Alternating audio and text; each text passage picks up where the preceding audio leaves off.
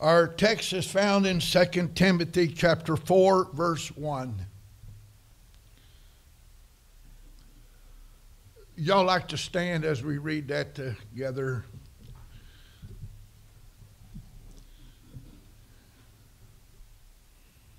I charge thee therefore before God and the Lord Jesus Christ, who shall judge the quick and the dead at his appearing and his kingdom.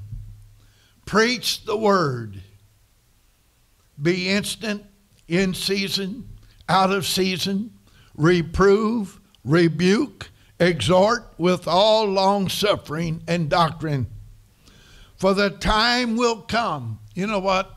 I kind of believe that we're here right now. The time that the, Paul was talking about, I believe we're here. For the time will come when they will not endure sound doctrine, but after their own lust shall they heap to themselves teachers having itching ears. And they shall turn away their ears from the truth and shall be turned unto fables. Father, we pray this morning you'll add your blessings to your word. We ask this favor in Jesus' name. Amen. You may be seated. Now I'm going to read the same text here in the Amplified. I charge you in the presence of God and of Christ Jesus, who is to judge the living and the dead, and by in the light of his coming and his kingdom. Herald and preach the word.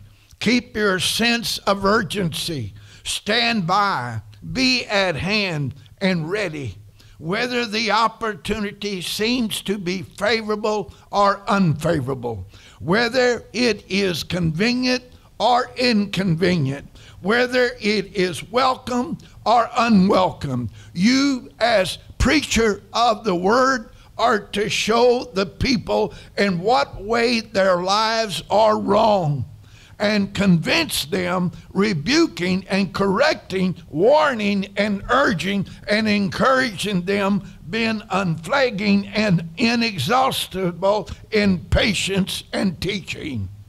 For the time is coming when people will not tolerate, endure sound and wholesome instruction, but having ears itching for something pleasing and gratifying, they will gather to themselves one teacher after another to a considerable number, chosen to satisfy their own liking and to foster the errors they hold, and will turn aside from hearing the truth and wander off into myths and man made fictions.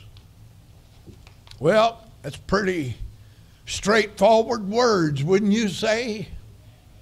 Amen. Now,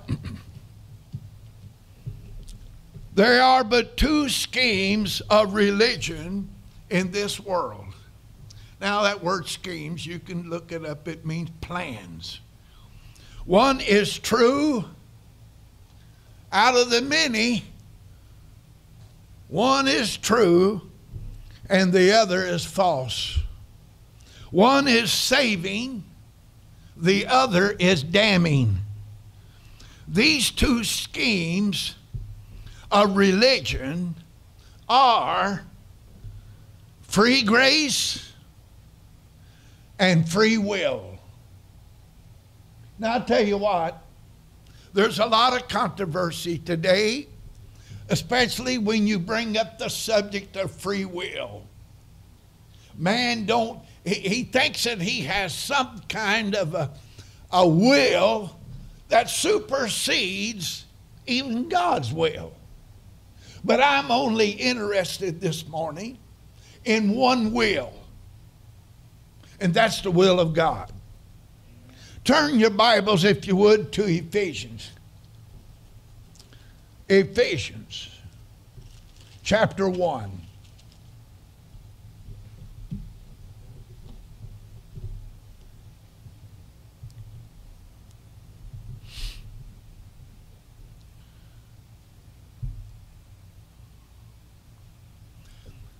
Yes, I will agree. Man has a free will. But hear me, hear me very clearly this morning. The free will is only in one direction down. Down. It, it's not free to go up, it's downward. In Ephesians chapter 1, verse number 11, in whom also we have obtained an inheritance, being predestinated according to the purpose of him who worketh all things. Now, is that the way your Bible says that? Huh? The purpose of God, of him who worketh all things after the counsel of what? His will. So uh, that's what I'm interested in this morning is God's will. Turn to Romans chapter 5. Romans chapter 8. Romans chapter 8. I didn't have these written down because I didn't know we was going to go here. And I want you to look at verse 28. I want. Did you notice? Uh, did you notice in Ephesians chapter one, verse eleven? It talked about the purpose of God. Okay, I mean everybody's seen that. Everybody clear on that. According to the counsel of His purpose, according to His will. It is His purpose and it is His will and you know what, folks? I don't have to stand here and preach to you about the sovereignty of God. It is God's will that's being done even right now on this earth. Now, hold your place there in Romans, and let's turn over to Daniel chapter 4. I just want to set forth some principles here. Roman, uh, Daniel chapter 4. Just hold your place there, Romans. Yeah. Everybody turn to Daniel chapter 4, verse number 35.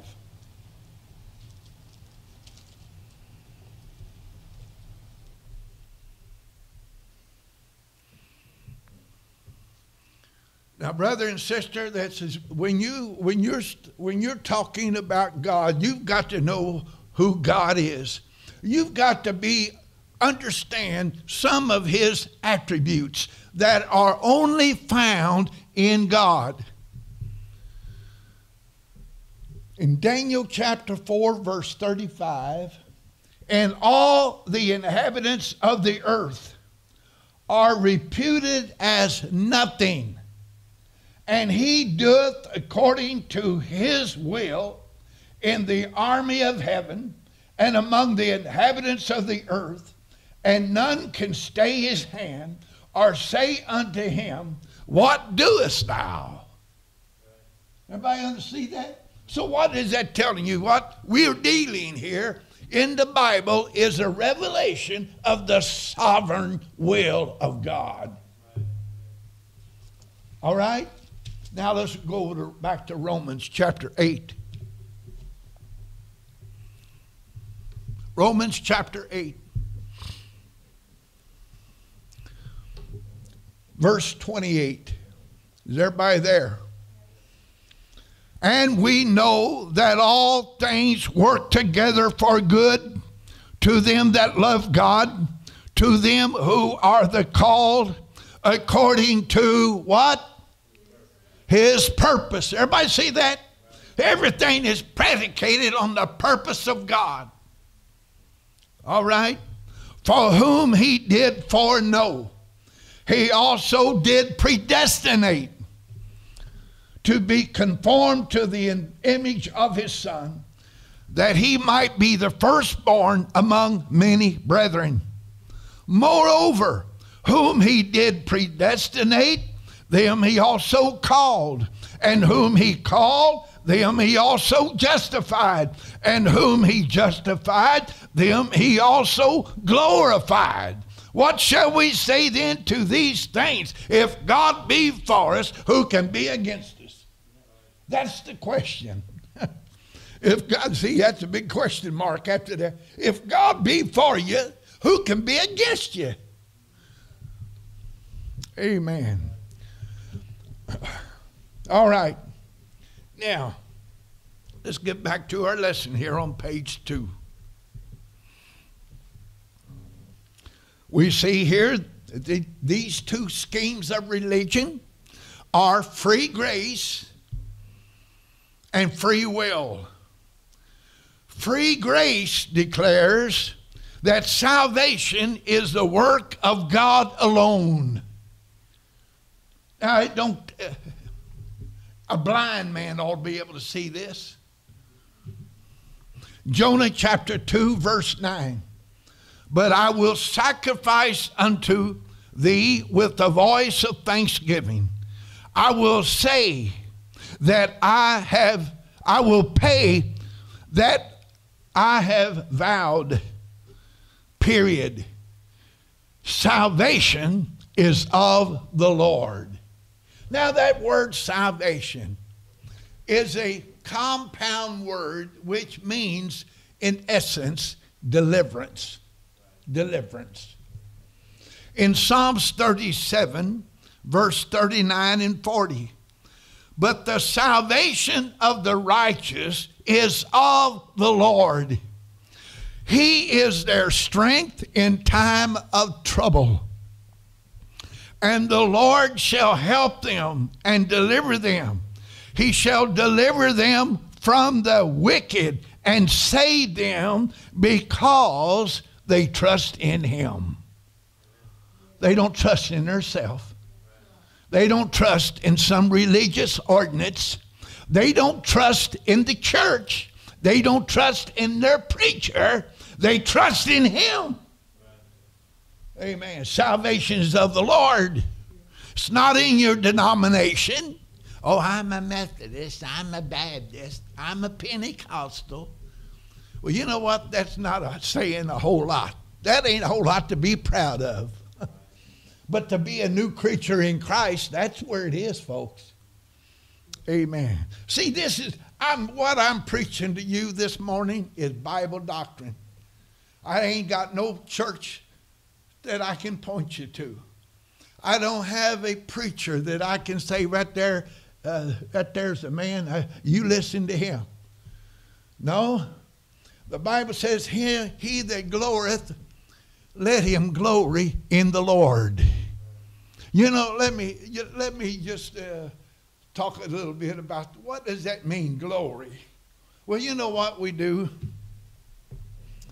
If we're not careful, if we're sick, we go to the doctor.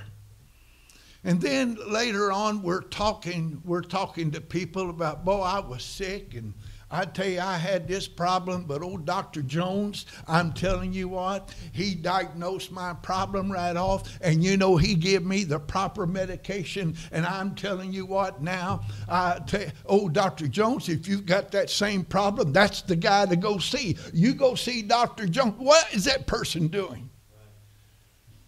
They're giving glory to Dr. Jones. You see what I'm saying? And that's saying what we do. You know, we have an automobile and we it's giving us good. Oh, boy, what we do, we start glorying in that automobile. Boy, I tell you what. Now, if you want a good car, you go buy the same kind of car I got because this car I got. What we do, we're glorying in that. You see what? Somebody is you're glorying in something or something or somebody. We're glorying, but he that glorieth, let him glory in the Lord. That's what the Bible tells us. But you know what? Most of the time, the Lord's the last one to get any glory. hey, that don't cost, that ain't in my notes, and I didn't know it, it wasn't premeditated, okay? That's all right. All right. All right. Free will. Let's just look now a minute about free will.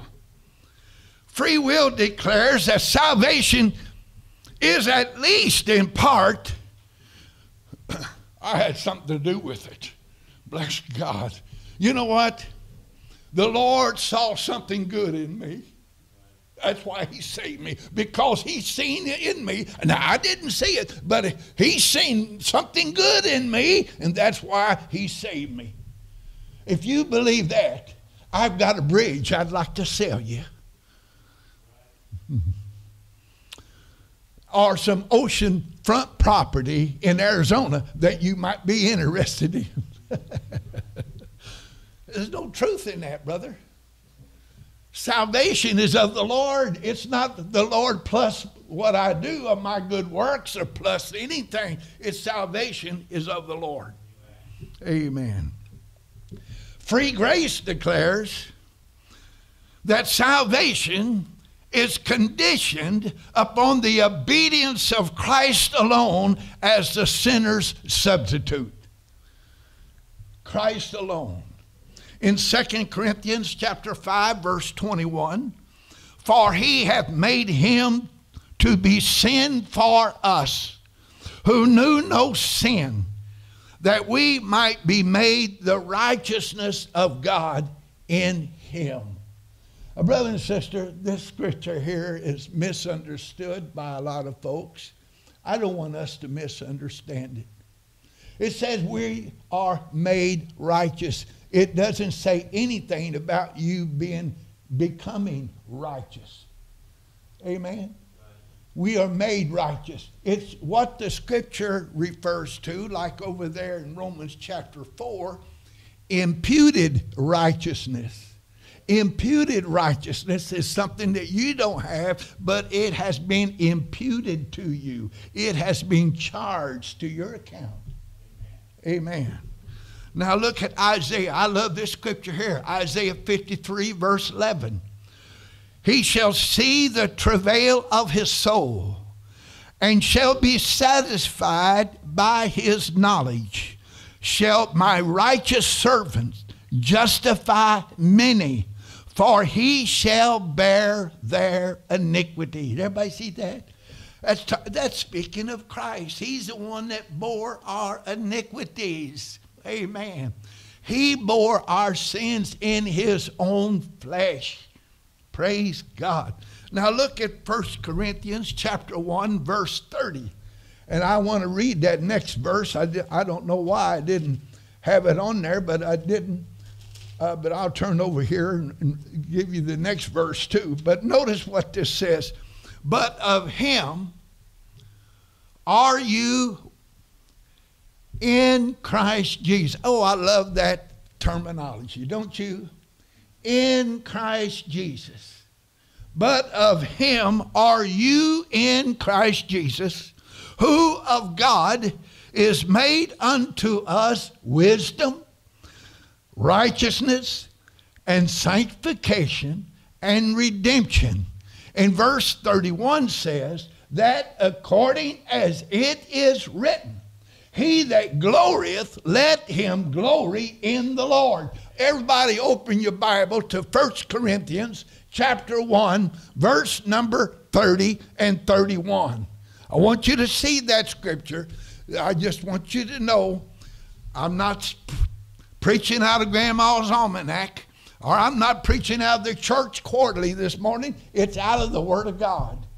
If any man glory, he that glorieth, let him glory in the Lord. Now remember what I said. You're going to glory in something, something, or somebody. But he's speaking to the church here. He said, He that glorieth, let him glory in the Lord. All things are of God. Amen.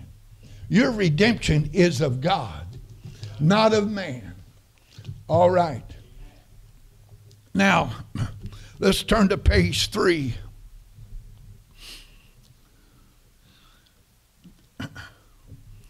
Second Corinthians chapter 5 verse 17 and 19. Therefore, remember that word therefore? That word therefore is a, he's bringing a conclusion here, a conclusion of what he said above. See? Therefore, seeing the truth that I've laid out here, Paul is saying, therefore, if any man be in Christ, he is a new creature or a new creation. Old things are passed away. Behold, all things are become new. Now, what's new about the new birth? What's new about salvation? Well, the fact is, when you are in Christ, you're no longer counted as being in the flesh. Hallelujah. You're not in the flesh, but you are in Christ. Brother, that makes all the difference in the world. God's not dealing with you anymore as a sinner, He's dealing with you as a son. Amen. Now I want you to turn to uh, turn to Romans. Hallelujah. Romans chapter 7. Romans chapter 7. Brother, y'all forgive me for jumping around here, but I just got to, these thoughts come to my mind. Well, now be a good time to say this, Tom. Won't you just go over there at the room? Because listen, amen, we all sitting in the same seat. We're all uh, fighting the same battle. And the battles that we're fighting today is mostly inward, in our minds. Uh, we're always in a conflict. We're always in a up and down, it seems like. We're always doubting God. We're always doubting ourselves. Amen. So it's good to just pause and, and look at what the Word of God has to say about you. I'd rather believe what God's Word says about me than what I think about myself. Amen. Eh, listen, as long as I look to myself, as long as I look to my flesh, I'll always be defeated. I'll always be in doubt. I'll always be in fear. I'll always, because that ain't, you're a new creature in Christ. You're a new creation. Amen. All right, now, but remember this the new birth does not eradicate that old sin nature. That's oh, and that's the thing that most Christians don't understand. How come, if I'm a Christian, I'm still having these same old impulses that hit me that I used to have when I was a sinner? Because that old sin nature is still there in this body of flesh. Now, I want you to notice the, the law that the sin nature is. We want to look at this first. Uh, look at verse number 20 in uh, Romans chapter uh, 7. Well, we'll look at 19 because we want to keep it in context. Because I, I know who I'm talking to this morning. You're people just like me. All right? Well, let's look at verse 18. Then we'll. For I know that in me, that is in my flesh, dwelleth no good thing. For to will is present. There's that free will. Oh, yeah, I praise God. I got free will. For the will is present with me, but how to perform that which is good I find not. Your free will ain't going to help you here. Let's look at it now. For the good that I would, I do not. But the evil which I would not, that's what I do. How come? You're a new creature in Christ. How come you still operating in that old man? How come you letting that old man raise up and have his way in you? Huh? Have you ever thought about this? All right, let's read on here. Now, if I do that, I would not. It's no more I that do it, but sin that dwelleth in me. Well, I have you know, I don't commit sin. Well, you know right off you're talking to a liar. Because we've all sinned and come short of the glory of God. Even Christians sin. But let's look at it. Paul wanted to really find the source of his problem. And here he's getting it right down to the nitty gritty. Look at verse 21. I find then a law that when I would do good, evil is present with me. Now that's what Paul, he that's when he began to do some real soul searching And he found the real problem was that old sin nature was still there. Look at verse 22. For I delight in the law of God after the inward man. Well, we all do. We sit and rejoice when we hear preaching, don't we? But I see another law. Now, notice another law. What is a law? It's a principle on which something operates on. A law is an unbinding principle, it will never change. God said about his law, he said, Heaven and earth shall pass away, but not one jot or tittle shall pass away from the law until all be fulfilled.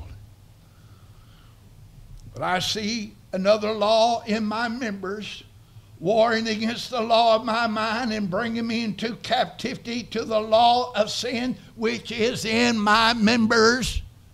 Y'all see that? That law of sin, it, he's talking about a man that's been born again, but that law of sin is still working in his members. Now, how does God deal as a believer, as a new creature in Christ? How does God operate with his new creation? All right. He goes on, let's drop down to chapter 8 and let's look at verse number 1. There is therefore, now see, therefore, you got to look up above in, in chapter 7, what we just got to read. Therefore, is looking back to there. So, what's being said? There is therefore now no condemnation to them which are in Christ Jesus who walk not after the flesh, but after the Spirit. For the law of the Spirit of life in Christ Jesus has made me free from the law of sin and death. Hallelujah. We're under a different law. As a new creature in Christ, we are walking after the law of the Spirit of life which is in Christ. Everybody see that?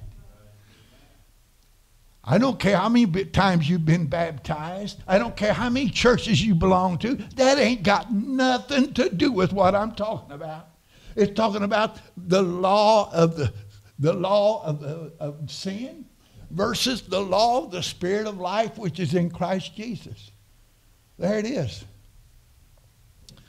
Amen.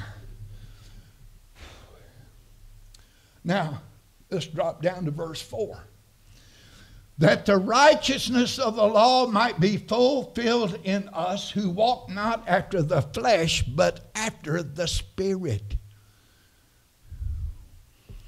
For they that are after the flesh do mind the things of the flesh, but they that are after the Spirit, the things of the Spirit. For to be carnal minded is death, but to be spiritually minded is life and peace. Because the carnal man, is enmity against God, for it's not subject to the law of God, neither indeed can be. So then they that are in the flesh cannot please God. Because if you walk in the flesh, you're going to fulfill the law of sin and death. But to walk in the Spirit, brother, is to walk in the life of the Spirit of life which is in Christ Jesus. And remember, he said one time about his word, the words that I speak to you, they are spirit and they are life. The word of God, brother, when you are walking in obedience to the word of God, you are walking in the spirit. Hallelujah. It's simple, ain't it? But very profound. Amen. I didn't know I was going to, y'all forgive me for that. Amen. Let's go back up here to our text in, in, in, in the chapter, I mean, verse, I mean, page three. Therefore, y'all see it at the top, if any man be in Christ, you, I hope you get some understanding here. He's a new creature. All things have passed away. Behold, all things are become new. Now, notice verse number 18. and all things are of God. How much have you got to do with it, Brother Tom? Nothing. All things are of God. Everybody see that? Salvation is of the Lord from start to finish. Hallelujah. Ain't you glad for that? Amen. To wit, that God was in Christ, reconciling the world unto himself, not imputing their trespasses unto them, and hath committed unto us the word of reconciliation. Praise God. Amen. Let me turn back over here to Romans chapter 3. I got that wrote down here. Romans chapter 3, verse number 20.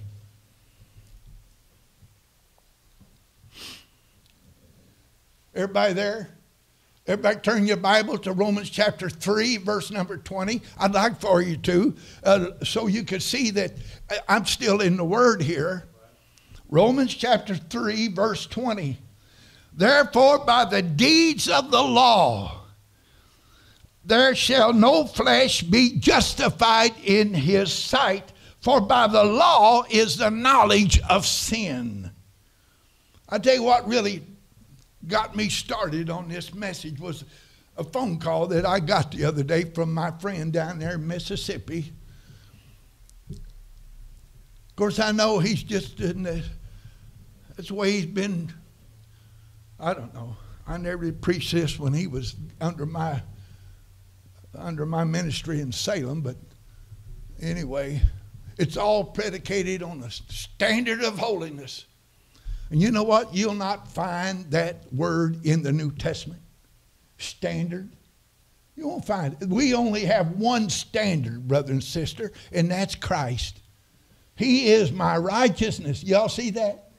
It ain't what you put on, uh, paste on, take off in the flesh. All right in the Philippians chapter 3, verse 9, and be found in him. Um, you can look at page 3 here of your notes. Philippians chapter 3, verse 9, and be found in him, not having mine own righteousness, which is of the law, because that is, but that which is through faith of Christ Jesus the righteousness which is of God by faith. Amen. All right. Free will declares that salvation is ultimately and finally conditioned upon the obedience of the sinner himself. Oh, I, this is the way that I was taught as a young man in the Pentecostal church. Oh, yeah, you're saved by grace, but it's all predicated how you walk, whether you stay saved or not.